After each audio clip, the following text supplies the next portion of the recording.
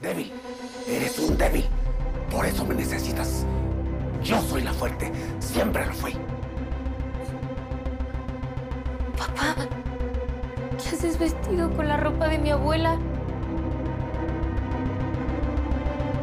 ¿Cómo están? Buenos días. ¿Y qué tienen de buenos? El jefe ya va a empezar con su choro de siempre. Ya mejor vete por los cafés para todos, pero cúrrele. Pero es que tengo que entregarle el, el informe al jefe. Ay, Nachito. O sea, para lo que le sirve tu informe al jefe. Vete por los cafés, pero huélale. Pero... Pero, na- a ver, Nachito, ¿no entiendes? ¿O en qué idioma estoy hablando? ¿Quieres hablar como tú, Nachito? Pasen todos a junta, vamos a revisar las proyecciones del bimestre. Nachito, tráeme un café. Ah, sí, sí, jefe. No, que no era mandadero de nadie. Tráete para todos, ¿sí? Nachito. Te está dice y dice. Bueno, no pasa nada, María. Yo lo hago con gusto. Solo trae el café del jefe y ve por tu informe. Sí, sí, María. Eres muy buena conmigo. Eh, ya tengo mi informe. Sí, lo sé y es muy bueno. Ignacio, confía más en ti. Te veo en la junta. Sí, María. Estaba pensando en invitar a Gonzalo, tu jefe, a ver si te da un aumento. Ah, sí, amorcito. Qué buena idea. Ya va a ser su cumpleaños. Podríamos darle una tarjeta. No seas ridículo. Lo vamos a invitar a comer y punto. Por cierto, durante la comida tú no vas a decir ni mu. La que va a hablar soy yo. Porque tú cada vez que abres la boca es para decir estupideces. Sí, amorcito. Pa, no deberías de dejarte de mi mamá. Te muestra más carácter. No quiero tener problemas con tu mamá. Es mejor llevar la fiesta en paz. En parte mi mamá tiene razón, papá. ¿Por qué no te deshaces de esta casa? Porque está llena de recuerdos. Mira. Yo todavía me acuerdo de la abuela. Me daba mucho miedo, tenía un carácter muy duro. Aunque cuando me abrazaba la sentía un poco forzada. Ella nunca fue cariñosa. Tenía un carácter muy fuerte y siempre me castigaba. Pero, ¿por qué? Si se ve que no eras un niño travieso. Porque decía que era débil. Ella quería hacerme fuerte, de más carácter. Creo que por ella no vendo esta casa. Siento que aún sigue aquí.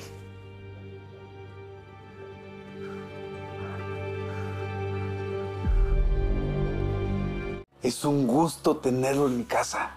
Le voy a contar de la vez. na- Nachito, no le interesan a Gonzalo tus historias, son aburridísimas. Mejor ve a revisar el costillar que tengo en el horno. Ándale. Celos. Cuéntame, ¿qué te gusta hacer?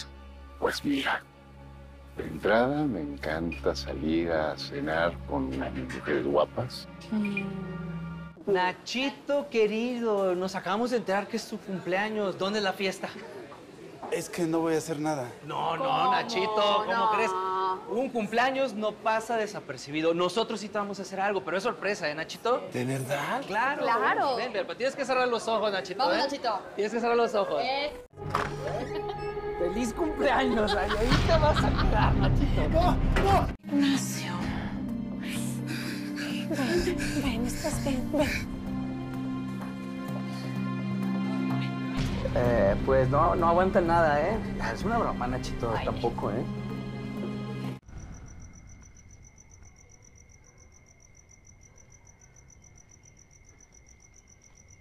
¿Sabes si el señor Germán tenía enemigos? No, no que yo sepa.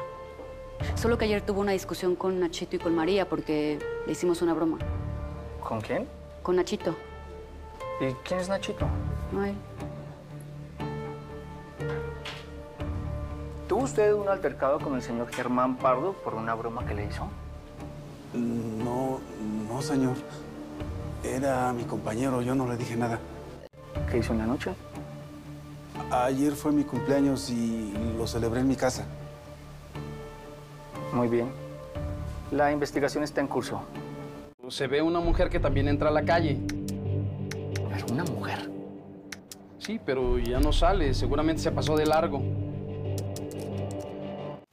¿En qué estábamos? Mm, que eras mm. vampiro y me chupabas la sangre. No.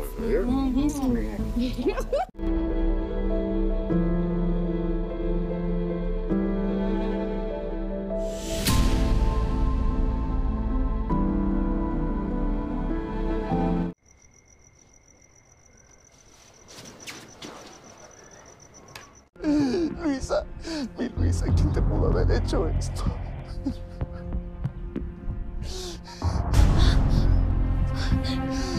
¿Qué pasó? ¿Qué tienes? ¿Qué pasó? Hijita, ¿cómo te digo esto? Pero ¿Qué pasó? Lo siento mucho, señorita. Encontraron el cuerpo de su madre detrás de los contenedores de basura. No, no, mamá. Que además estoy muy preocupada por mi papá. Él siempre dependió de ella y ahora va a tener que arreglársela solo. ¿Alguna vez me dijiste que tu papá también fue sometido por su madre? Sí, mi abuela era una narcisista dominante que sometía a mi padre y siempre se quejó de su falta de carácter. O sea que siguió el mismo patrón de dominio. Y quizás ante esa falta de brújula, buscar a quien lo domine. Probablemente. Virgencita, por favor, ilumíname para poder apoyar a mi papá.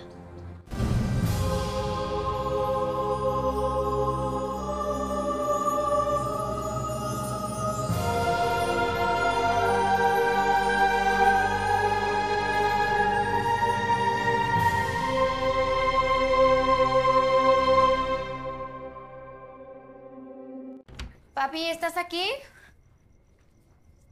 Hola, ya llegué. Pa, No hiciste nada.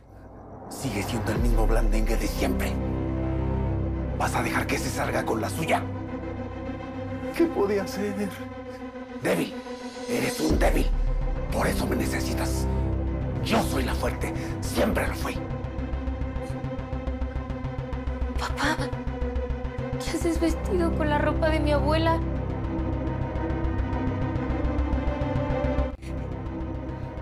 Pasó? Lo mismo me pregunto, ¿por qué estás vestido con la ropa de mi abuela? No sé, hija, estaba doblando esta ropa. Es confuso, como si fuera un sueño. De pronto me vi como si fuera un sueño. No sé. ¿Cómo puedo saber qué le pasa a mi padre? Estudia de cerca su comportamiento, no lo pierdas de vista y si es posible, síguelo.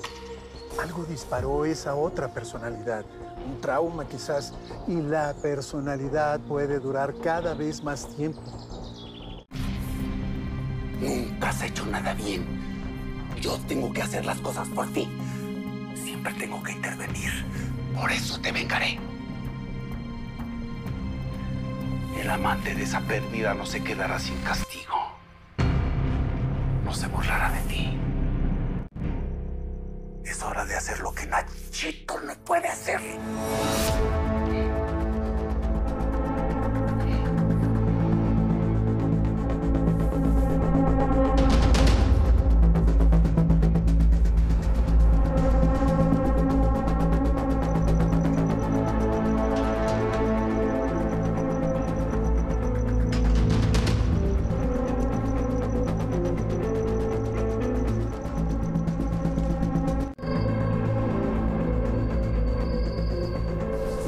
Lo tenemos que llevar. Cálmese. Sí, sí, cálmese. ¿Pide ayuda? A ver, por favor. Señor. Tiene apoyo médico. Mira, ahí viene. Sí. Ahora voy a estudiar con más ahínco para poder ayudarlo y que en algún momento pueda salir de aquí. Gracias. Hola, Pa. ¿Cómo estás? Bien, me he sentido bien. Aún no tengo claro lo que pasó por mi mente. Lo tengo como si fuera un sueño. No te preocupes, papá. Con la terapia vamos a ayudarte a superar todos los eventos traumáticos de tu infancia. Fue una niñez muy dura al lado de mi madre que no aceptaba mi carácter. Pero el doctor dice que ella ya no aparece ni en mis sueños. Qué bueno, eso quiere decir que vamos por muy buen camino.